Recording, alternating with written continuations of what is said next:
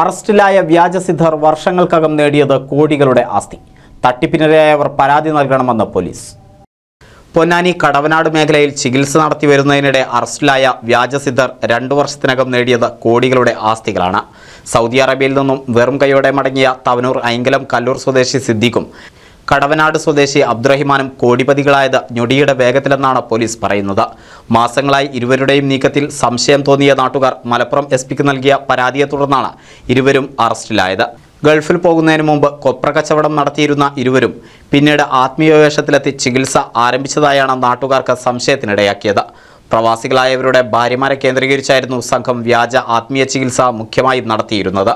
Kadavanad കോളക്കോടൻ road ഭാഗത്ത് വീടിനോട് ചേർന്ന മജ്ലിസ് ഷിഫ എന്ന പേരിൽ അനധികൃതമായി വ്യാജ ചികിത്സയും ഉറുക്കു എഴുതി നൽകുകയും പിഞ്ഞാണപാത്രത്തിൽ വെള്ളം നൽകിയുമുള്ള ചികിത്സയായിരുന്നു പ്രധാന ചികിത്സകൾ.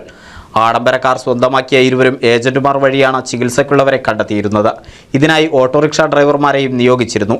ചങ്ങരകുളത്തുള്ള ഗൾഫ് പ്രവാസിയുടെ ഭാര്യയിൽ നിന്നും ചികിത്സയുടെ പേരിൽ പതിനേഴ് ലക്ഷം രൂപ തട്ടിയെന്നും പരാതിയുണ്ട്. ഇത്തരത്തിൽ ചികിത്സയ്ക്കായി ലക്ഷങ്ങൾ ഇവർ കൈപ്പറ്റിയെന്നാണ് അറിയുന്നത്. സ്വന്തം മാതാപിതാക്കളുമായി ബന്ധമില്ലാത്ത സിദ്ദിഖ് ഇപ്പോൾ ലക്ഷങ്ങൾ വിലമതിക്കുന്ന വീട് നിർമ്മിക്കുന്നതും പോലീസ് അന്വേഷിക്കുന്നുണ്ട്. ഇവരുടെ തട്ടിപ്പിനിരയായവർ പോലീസിൽ ബന്ധപ്പെടണമെന്ന് പൊന്നാനി സി ഐ സണ്ണി ചോക്കവ് അറിയിച്ചു. N C V news Ponnani.